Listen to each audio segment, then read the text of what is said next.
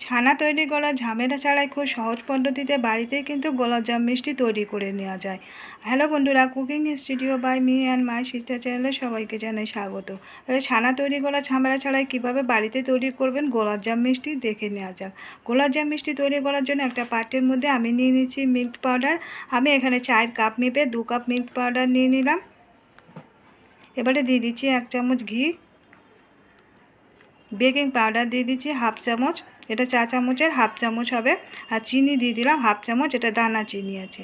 এবারে শুকনো উপকরণগুলো প্রথমে ভালো করে মাখিয়ে নেব।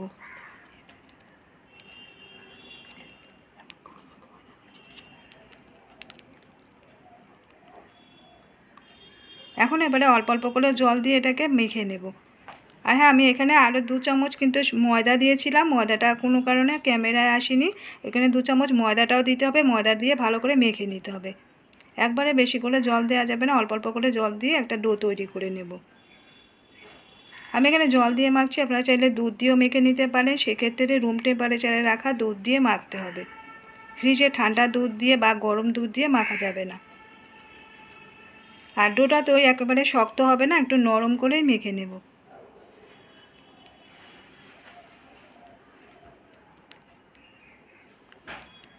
ডোটা তৈরি করে নেওয়া হয়ে গেছে। এখন এটাকে আমি ঢাকা দিয়ে দশ মিনিট রেস্টে রেখে দেবো। ততক্ষণে চিনি শিরাটা তৈরি করে নেব। একটা পাটের মধ্যে এখানে আমি চিনি দিয়ে দিলাম। আমি এখানে কাপ মেপে দেড় কাপ চিনি দিয়েছি।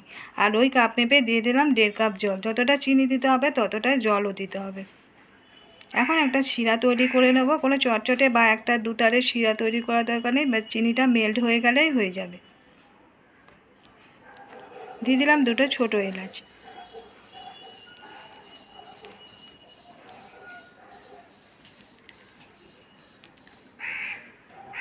চিনি শিরাটা দেখুন হয়ে গেছে এর চিনিগুলো মেল্ট হয়ে গেছে।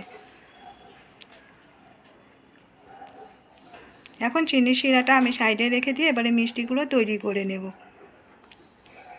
দশ মিনিট হয়ে গেছে, এবারে দুটা থেকে কিছুটা করে নিয়ে আমি হাতে করে নিয়ে একটু গোল গোল করে তৈরি করে নেব মিষ্টিগুলো।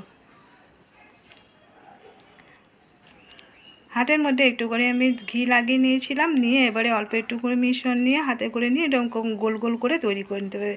আর গোলটা তৈরি করার সময় দেখে নিতে হবে যেন ফাটল না থাকে। পুরোপুরি গোল তৈরি করতে হবে।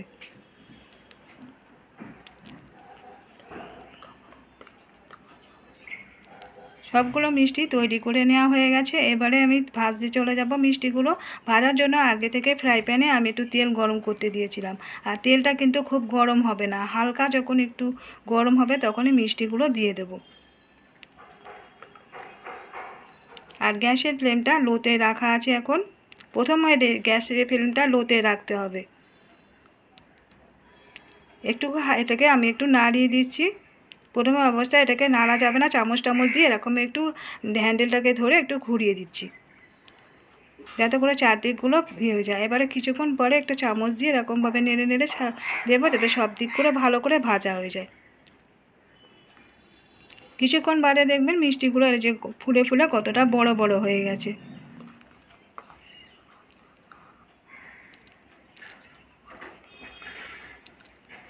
আর এই মিষ্টিগুলো ভাজতে গেলে খুব তাড়াতাড়ি ভাজা যাবে না বা গ্যাসের ফ্লেম জোর করে দিয়ে ভাজা যাবে না। একটু সময় নিয়ে এটাকে ভাজতে হবে। দেখুন এখন গোল্ডেন কালার হয়ে গেছে আর মিষ্টিগুলো ফুলে কতগুলো বড় বড় হয়ে গেছে। এখন এই অবস্থায় মিষ্টিগুলোকে আমি তুলে নিচ্ছি। এর থেকে আর বেশি কড়া করে ভাজবো না।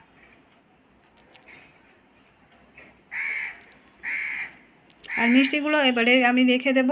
এটাকে ঠান্ডা করে নিয়ে তারপরে চিনি শিরা দিতে হবে। গরম অবস্থায় দেওয়া যাবে না। মিষ্টিগুলো যখন ঠান্ডা হয়ে যাবে, তারপরে চিনি শিরাটা একটু ঠান্ডা হয়ে গেছে, চিনি শিরাটাকে আবার একটু গ্যাসে বসিয়ে গরম করে নিয়েছি।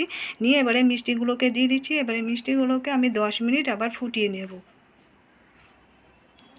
গরম অবস্থায় যদি মিষ্টিগুলো দেওয়া হয়, তাহলে মিষ্টিগুলো কিন্তু সব চুপসে যাবে। এগুলো আর গোল থাকবে না।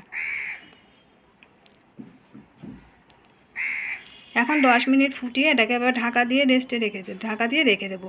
দশ মিনিট পরে এই মিষ্টিগুলোকে তুলে নিয়ে সার্ভ করব। দশ মিনিট হয়ে গেছে, ঢাকা দিয়ে রেখে দিয়েছে আর এখন মিষ্টিগুলো আমি তুলে নিয়েছি। দেখুন কত সুন্দর রয়েছে রসালো আর গোল গোল। আর ভিতরে ভালোভাবে রসগুলো প্রবেশ করেছে। আর খেতে কিন্তু অসাধারণ হয়। পাউডার দুধের তৈরি গোলাপজাম মিষ্টি। বন্ধুরা, আজকের ভিডিওটা কেমন লাগল কমেন্ট করে জানাতে ভুলবেন না। ভালো লাগলে একটা লাইক দিয়ে দেবেন শেয়ার করে দেবেন, এবার সাবস্ক্রাইব করে দেওয়ার রিকোয়েস্ট করছি নতুন বন্ধুদের কাছে, যারা আজকের ভিডিওটা প্রথম দেখছেন। পাশে থাকা বেল বটনটিকে অন করে রাখবেন। যখনই নতুন ভিডিও আপলোড করব নোটিফিকেশনে আপনাদের কাছে পৌঁছে যাবে। এখন একটা মিষ্টি আমি কেটে দেখাচ্ছি। এই যে চিনি যে দিয়েছিলাম, ওই চিনিটা কাট দেওয়ার কারণে যে ভিতরে জালি জালি হয়েছে, দেখেছেন? আজকের মতো বিদায় নিচ্ছি, ফিরে আসছি নতুন কোনো রেসিপি